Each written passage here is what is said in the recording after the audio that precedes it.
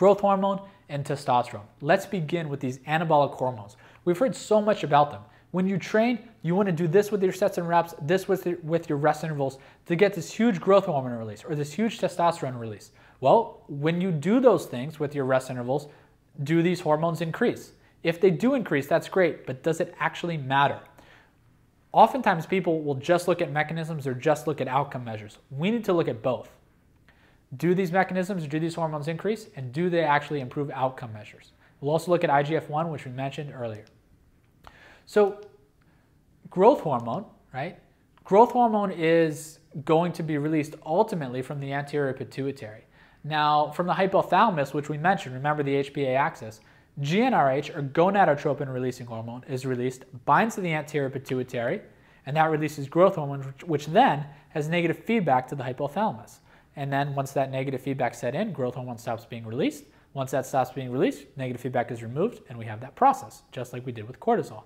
Now, I'm sure you've heard that growth hormone is related to muscle growth. Well, let's take a look at this figure. This figure is from McCall in 1999, and we can see on the y-axis you have acute growth hormone release, and then on the x-axis we have percentage increase in type 2 fibers. Now, there here was a significant relationship. If we can take a look at the dot all the way, the solid dot all the way on the top right, that's above the 50% increase on the x-axis and up to the highest growth hormone release of about 20 there in the measurement. You can see that is a direct relationship between the acute growth hormone response and the increase in cross-sectional area or hypertrophy of type 2 fibers at the end of the study, saying on average, the changes in growth hormone after exercise correlated to the hypertrophy response at the end of the study. Is that convincing? Does that convince you that, hey, I need to structure my training so I can improve growth hormone acutely? If I get a spike in growth hormone after exercise, in the long term, that's going to be good for skeletal muscle hypertrophy. Is that the case? Well, for a long time, people have recommended that we build training around this. That we say, all right, now let's figure out how we can improve growth hormone response following exercise, and then let's train like that. But I want you to think about this logically for a second. Growth hormone goes up immediately after exercise. Okay, that's true. But what else goes up immediately after exercise, right? Heart rate goes up. Does that mean that heart rate is a causative factor for muscle growth. I'll go run around the track for 10 miles. I'm not going to do that. But I go run around the track for 10 miles. My heart rate goes up. That's good for muscle growth? Certainly not. Cardiac output goes up, right? Stroke volume, all the other things associated with aerobic exercise. Sympathetic activity goes up. Protein degradation goes up following resistance exercise. Does that mean my goal is to increase protein degradation every training session and I'll get a better hypertrophic response? No way, right? acute GH is not the goal of training. Acute GH response is not anabolic unless it's outside of the physiological range. And this increase is not outside the physiological range. Rather, it's just a correlation. Growth hormone goes up in response to training. If you train hard, GH will go up. That's just one of the many things that increases acutely. That's not a causative factor. It doesn't mean you should schedule your training around that increase in GH. So we see the same thing here when we look at this study. But now we start to understand why or what type of training increases GH and why these recommendations have been made. So specifically, before we look at the graph here, the recommendations to in, uh, increase GH have been what? Moderate to high repetitions with short rest intervals. That's also what you've been taught to increase skeletal muscle hypertrophy. We'll come back to that later on as well.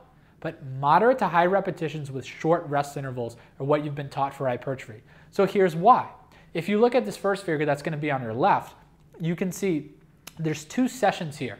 There's session A, where subjects did 20 set, sets of one, and session B, where subjects did 10 sets of 10. It was a crossover design, meaning subjects came in one week and did one, and then the other week and did the other. And this is in the squat. Well, you can see in session B, right, where they did 10 sets of 10, well, immediately following exercise uh, for an hour, there's a huge spike in growth hormone, and then it comes back to baseline an hour following exercise. Following session A, the arrow on the bottom, there's just a very, very small increase in growth hormone, almost no change at all. Well, 20 sets of 1 is high intensity. 10 sets of 10 at 70% is high volume. So it's the volume that's driving the growth hormone response, not the intensity. So that's one reason you've been taught high volume for hypertrophy, which is true, right? High volume for hypertrophy is a good idea. But let's talk about why specifically high volume has been recommended to increase GH.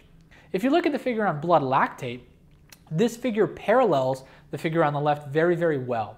So we can see again, session B, 10 sets of 10 at 70% increases lactate a lot, whereas session A, 20 sets of 1 doesn't increase lactate at all.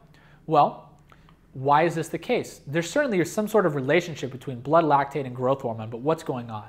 Well, blood lactate is a metabolite, so that increases first. When you exercise and you do high volume and you take short rest intervals, blood lactate won't have time to clear when it's produced by skeletal muscle. That means that you're acidic. When you're acidic, that is a measure of pH or hydrogens in a solution. When you have more hydrogens in a solution, right, pH levels will drop and you'll become acidic. Remember, how was growth hormone released? Let's go back for a moment, right? So growth hormone was released, you can see in the top box there, from the anterior pituitary by growth hormone releasing factor or growth hormone releasing hormone, interchangeable terms, binding to the anterior pituitary. When you're acidic or when pH drops, growth hormone releasing factor binds much better to the anterior pituitary. So, in this case, the increase in blood lactate due to the high volume and short rest intervals is driving or increasing the acute GH response, right? So the take-home message is that moderate training to high intensity training, or high volume, if you will, with moderate repetitions, with low rest intervals acutely increases GH. But does this matter?